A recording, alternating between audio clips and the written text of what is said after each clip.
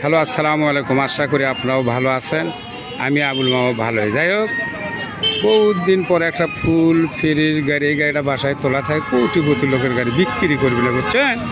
তারপরে আমি বললাম যে, যদি গাড়ি বেচেন, তাহলে হাই দামে যদি কেউ কেনে আসে না এরকম পার্টি দেখ, সেটাও বড় কথা নয় দাম চাওয়া শুনলে তো পাগলা যায়, আমি দাম দুম দেবো না। এখন ঘটনা যারা কেউ যদি কিনে একবারে অরিজিনাল কালার কোনো কোনো কিছুই নাই। যাক, কয় গাড়ি? বাঘের বাচ্চা বক্সার গাড়ি, বুঝছেন? একবারে কাটা স্যালেঞ্জার লাস্ট মডেল বুঝছেন?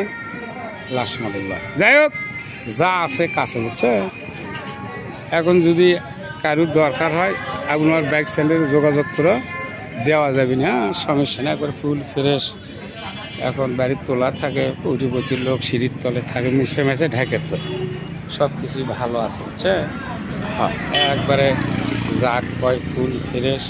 এখন ঘটনা হলে জেনারা জেনারা কিনবি ডিসিশন বক্সের নাম্বার থাকবি। একবারে সবই সাতকার মাল সামানা আছে। এদের দেখতে গাড়ি কিন্তু গাড়ি চলছে মামা, জেনে নি দেখা যাচ্ছে তেইশ হাজার বত্রিশ কিলো তিন পয়েন্ট হুম। হ্যাঁ মামা। এই একবারে কিনবেন দেখা যাচ্ছে হ্যাঁ। এটা সব কিছু ভালো অর্জুন একবারে কোনো জায়গার দাগ নেই, কোনো কিছু নেই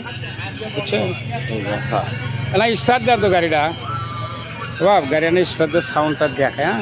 তাই একটু সবই দিচ্ছি গাড়ির নাম্বারটা এগারো, একান্ন, চব্বিশ।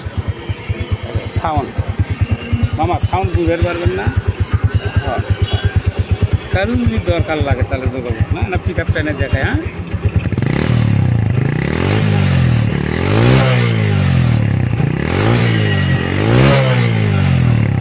একই কয় বক্স আর ইনটেক মাল হাত দেওয়া লাগবে, বুঝছেন?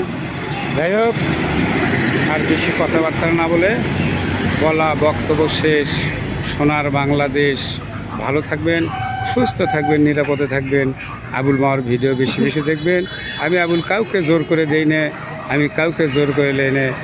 একটি ঘটনা, কেউ দেখে ইউটিউব চ্যানেল কেউ দেখে ফেসবুক ধন্যবাদ।